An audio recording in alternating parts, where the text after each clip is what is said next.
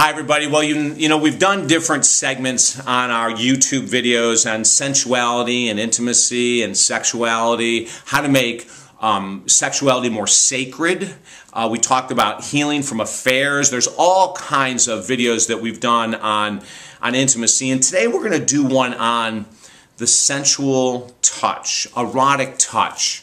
Now, I, I know when I work with couples that have lost interest in sexuality or lost, lost interest in lovemaking, or one of them has a much higher drive than the other, and it seems like they're on the verge of a breakup.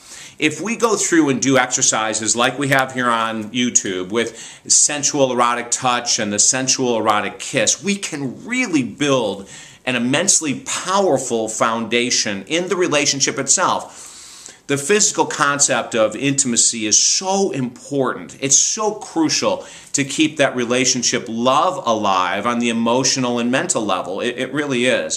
So today it's about the sensual touch. Now, I'm going to open this up by saying we're not talking about making love today as much as we're talking about reconnecting with our partner. It's like when we do a sensual kiss. The kiss is there to linger, to feel, to get present with your partner. And today, with the sensual erotic touch, it's the same thing.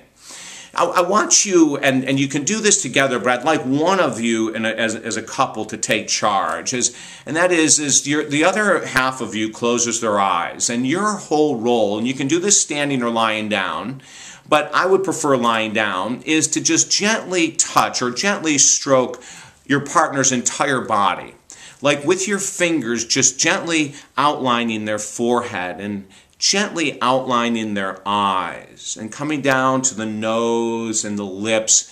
Like the sensual touch is a, is a grounding exercise and it's a communication without words.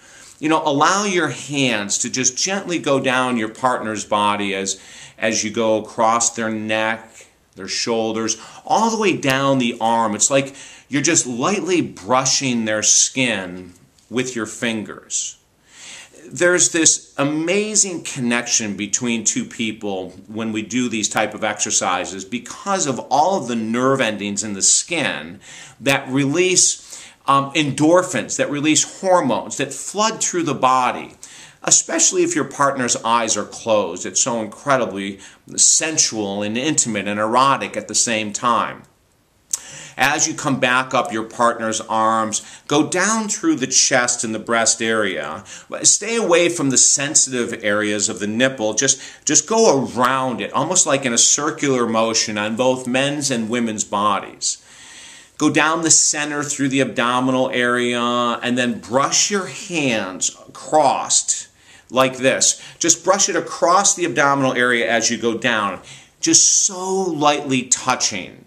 And when you get to that erogenous zone, to where our, our sexual organs are, do not touch the organs themselves, but instead brush your hand down the thigh, on the top of the thigh, and then slowly up on the inside of the thigh, and then slowly on the outside. And and go all the way down the legs and to the feet. Now, sometimes when we get there, couples that I'm working with will come back and go, oh, the minute he touched my feet or the minute she touched my feet, I went crazy. And at first that could happen, but try to allow your partner to do that, just to lightly brush your toes across the top of your foot, your toes, and underneath your foot, the ball of your foot, just so barely touch it. And then come back up on the inside of the thighs without touching our sexual organs and all the way back up to the eyes where we just gently, gently touch the eyes. Now, if you want, this sensual and erotic touch can continue by having your partner roll over on their stomach, and you can go down their shoulders and arms, and then shoulders and back, across the buttocks, just so lightly touching the buttocks and down the back of the legs. If we would take a few minutes a day maybe a couple days a week to go through this sensual, erotic touch, we could really start to reconnect at a deeper level with our partner emotionally, physically, spiritually. Uh, in relationship, touches everything. So let's go ahead and use this as an exercise to bridge and to bond that intimacy at a much deeper level. Slow down with your kiss slow down with sensual erotic touch and watch your relationship shift. If I can help you in any way, talkdavid.com is the website. Visit me there. I'm available to work with couples or singles, and I look forward to helping you out. Okay? Have a beautiful day. Bye bye now.